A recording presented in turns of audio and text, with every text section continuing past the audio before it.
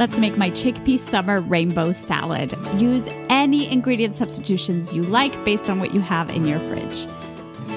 In a small bowl, let's combine some olive oil, lemon juice, maple syrup, Dijon mustard, some salt and pepper to taste, garlic, red onion, and whisk together to make the dressing.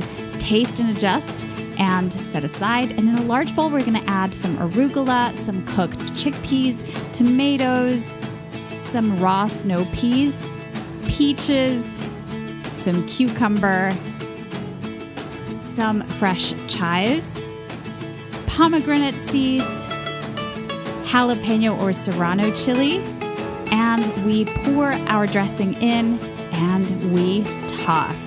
This is a delicious, refreshing salad that I love in the summer. In the comments, tell me what you'd like to see next.